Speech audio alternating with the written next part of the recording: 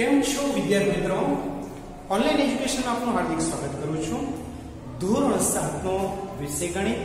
અહીં આપણે ભાગ ત્રણની અંદર પ્રકરણ એક પૂર્ણાંક સંખ્યાઓનું સ્વાધ્યાય એક પોઈન્ટ ત્રણ આપણે શીખીશું. આપણે ભાગ બે માં સ્વાધ્યાય એક પોઈન્ટ એક અને એક પોઈન્ટ બે નો અભ્યાસ કરી ચૂક્યા છીએ. હોમવર્કમાં તમે પાકી નોટમાં તેના બાકરીતા દાખલાઓ પૂર્ણ કરી લીધા હશે. હવે શું કરીશું? આપણે ભાગ દાખલો બીજો, દાખલો અને સાતમો દાખલો. જે દાખલો એક પોઈન્ટ ના બાકી રહેશે, એ બાકી તમારે જાતે ગણવાના રહેશે. તો શરૂઆત કરીએ આપણે સ્વાધ્યાય એક પોઈન્ટ ત્રણ તમારા પાઠ્ય પુસ્તકના પાના નંબર બોલું છું. પાઠ્ય પુસ્તકના પાના નંબર છે એકવીસ પર આવો. પાઠ્ય પુસ્તકના પાના નંબર એકવીસ પર પહોંચો. અહીંયા આપ્યું છે કે નીચે આપેલા દરેકના જવાબ લખો. જવાબ લખવાના છે, પરંતુ તમારે ગણતરી વડે દર્શાવીને લખવાના છે. તો શરૂ કરીએ. અહીંયા તમારી પાસે ત્રણ એકુ, ત્રણ પરંતુ જો એક પદ પાસે ઓછાની નિશાની હોય, તો ઓછામાં જવાબ આવશે. બંને પદ પાસે માઇનસની, એટલે કે ઓછાની નિશાની છે, તો પ્લસમાં જવાબ આવશે. તો અહીંયા ત્રણ એકુ, ત્રણ પરંતુ માઇનસ ત્રણ. બીજો દાખલો જોઈએ સી બી દાખલો જાતે ગણશો સી દાખલો જોઈએ બંને માઇનસ જો માઇનસ 21 ગુણ્યા માઇનસ 23 માટે માઇનસ માઇનસ પ્લસ પરંતુ એ અહીંયા માઇનસ માઇનસ પ્લસની સંબંધ નથી જોવા મળતો અહીંયા બંને નિશાની જો માઇનસ હોય અને ગુણાકારનો સંબંધ હોય તો તમારે પ્લસમાં જવાબ આવશે માટે 21 તેરી 63 21 તેરી 63 અને 30 હોવાથી 630 થશે અને 2 માઇનસથી તમારો જવાબ પ્લસ તો વિદ્યાર્થી મિત્રો, દાખલા પહેલાના પેટા એ અને સી સિવાયના જે દાખલાઓ બાકી રહેશે એ તમારી જાતે ગણવાના રહેશે. આગળ જઈએ. દાખલો બીજો. એક કીધું છે ચકાસો. ચકાસો નો અર્થ છે જમણી અને ડાબી બાજુની જે કિંમત છે સમાન બનવી જોઈએ. જમણી અને ડાબી બાજુની કિંમત છે સમાન બનવી જોઈએ. તો અહીંયા જોઈએ, આ 18 ગુણ્યા 7 વત્તા ઓછા હંમેશા સૌથી પહેલી ક્રિયા કૌંસના પદોનું સાદુરૂપ આપવાની ક્રિયા કરવાની હોય. તો પહેલું પદ એમના રહેશે 18 ના 18 ગુણ્યા કૌંસનું સાદુરૂપ આપીએ. તો આ પ્લસ માઇનસ માઇનસ 7 માંથી 3 જશે.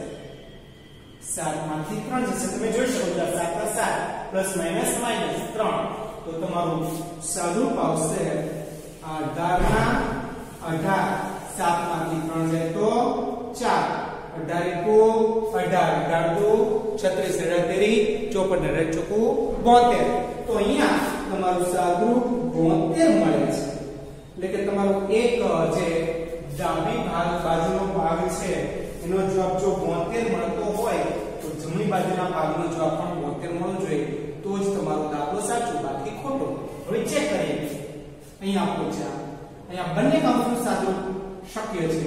18 સત્તા 126 વત્તા 18 તેરી 54 પરંતુ માઇનસ 54 કારણ કે એક પદ પાસે અહીંયા જોઈએ, તો 126 પ્લસ માઇનસ માઇનસ ચોપન એકસો છવ્વીસમાંથી ચોપન બાદ કરવાના છે એકસો છવ્વીસ માઇનસ ચોપન છ માંથી ચાર જાય તો બે ત્રીજો દસ કો બારમાં તો પાંચ સાત.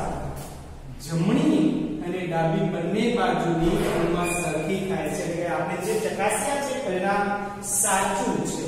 એ પરિણામ સાચું છે. ત્યાર પછી દાખલા બીજામાં એ એક મેં ગણ્યું છે કદાચ જો એનો પેટા બી બાકી હોય, તો એ તમારું જાતે CW એટલે કે પાકી નોટમાં હોમવર્ક રહેશે. હવે હું તમને દાખલા ત્રીજામાં લઈ જાઉં છું. તમને એ કીધું છે એ માટે, જો એ સૂચન વાંચું છું, કે કોઈ પણ પૂર્ણાંક સંખ્યા એ માટે શું થાય એ કીધું છે. તો આનો ગુણાકાર કરીએ, ઓછા 1 ની સાથે એનો ગુણાકાર 1 એકા 1 પરંતુ ઓછા 1 એટલે તમારે આ પદ્ધતિએ સાદું મળે. પછી ચોથો દાખલો એક ને પદ્ધતિ જેવા હોય, માટે સીધા પાંચમા દાખલાનો એકાદો દાખલો. અહીંયા ગુણધર્મનો ઉપયોગ. તમે ગુણધર્મ એટલે કે કોઈ પણ પદાવલી સાથે ત્રણ પદ છે, તો કોઈ પણ બે પદની જોડ બનાવી, તેનો ગુણાકાર કરી, પછી એમાં એ સંખ્યાનો ગુણાકાર કરો. એટલે કે અહીંયા ગમે તે જૂથમાં તમે ગમે તે ક્રમમાં તમે દાખલો બનાવી શકો. તો હું શું કરીશ? 125 અઠા 1000 થાય હું જાણું છું. માટે 8 ગુણ્યા 125 કરીશ. 8 ગુણ્યા 125 ની જોડ બનાવીશ. અને છેલ્લે હું એમે તેની સાથે 53 નો ગુણાકાર કરીશ. ઓકે? એટલે કે તમારે યાદ નથી રાખવાનું કે કોઈ 100 1000 500 તો છેલ્લે 00 વાળી સંખ્યા આવતી ને એવા પદાવલી પદાવલીની તમારે જોડ બનાવવી જોઈએ. તો હવે હું જોઈશ 125 અઠા 1000 પરંતુ માઇનસ 1000 થશે કારણ કે એક પદ પાસે માઇનસ છે. ગુણ્યા 53 ના 53 તો અહીંયા જોઈએ કે 1053 સાથે ગુણશું તો એક ગુણ્યા 53 બરાબર 53000 પરંતુ માઇનસમાં જવાબ આવશે. તો આ પદ્ધતિએ દાખલા કાઢવાના પેટા જો કોઈ દાખલા આપવા હોય તો તમારે ગણવાના રહેશે. હવે હું તમને દાખલો સાતમો ગણાવીશ. દાખલો સાતમો ગણાવીશ. અહીંયા શું કહે છે પ્રશ્ન એવો છે કે વર્ગ કસોટીમાં કુલ 10 પ્રશ્ન પૂછાયા. કુલ 10 પ્રશ્ન પૂછાયા. સાચા જો માર્ક્સ સાચા હશે, એના 5 ગુણ મળશે, ખોટા પ્રશ્નના -2 ગુણ મળશે, અને જવાબ નહીં લખશો તો શૂન્ય ગુણ મળશે. તો અહીંયા આપણે વર્ગ કસોટીમાં 10 પ્રશ્ન છે, દરેક સાચા જવાબના પાંચ ગુણ મળે છે, દરેક ખોટા જવાબના ઓછા બે ગુણ મળે છે અને જવાબ ન લખો તો શૂન્ય ગુણ મળે છે. હવે મોહન, રેશમા અને હિના ત્રણ વ્યક્તિઓ છે. એની વાત છે. મોહન માટે જોડે મોહનના સાચા કેટલા છે? ચાર. તો સાચા ગુણના કેટલા ગુણ મળે છે? પાંચ. ચાર પંચા વીસ ગુણ થયા બરાબર છે? મોહનના સાચા ચાર ગુણ છે. હવે ખોટા કેટલા લખે છે? કે ખોટા બે. ખોટા છ. છ બે બાર. ઓછા 12 તો વીસ વત્તા ઓછા 12 આ 20 ના 20 પ્લસ માઇનસ માઇનસ બાર. વીસમાંથી બાર જાય તો આઠ ગુણ છે એ મોહનભાઈ ને મળશે. કેટલા ગુણ મળશે? આઠ ગુણ.